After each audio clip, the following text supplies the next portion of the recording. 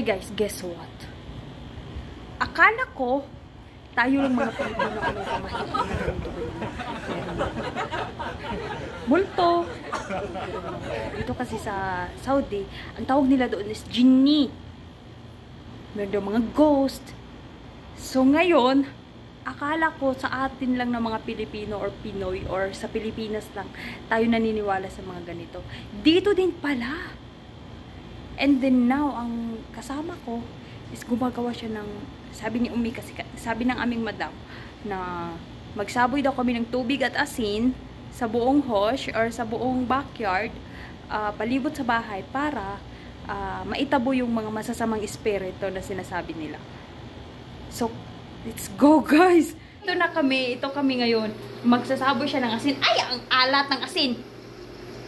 Dito, ito, ito sa, ano, ito sa timba na to, puno ito ng asin.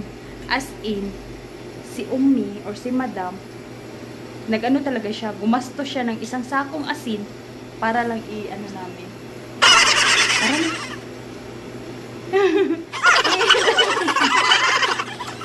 Ayan. Ayan na guys. So yun. Yun ang tinatawag. Akala ko kasi sa Pinas lang tayo may ano. Ito babae kasi Genie ito eh. Genie? Genie. Ayun, may orasyon siya. So tara guys, papakita namin sa inyo.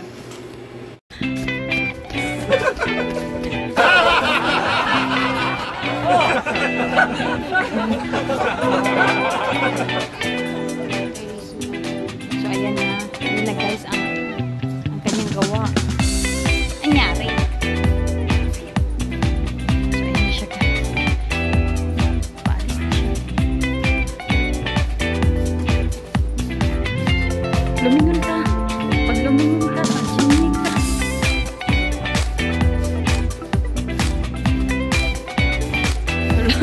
Nasapian na siya guys.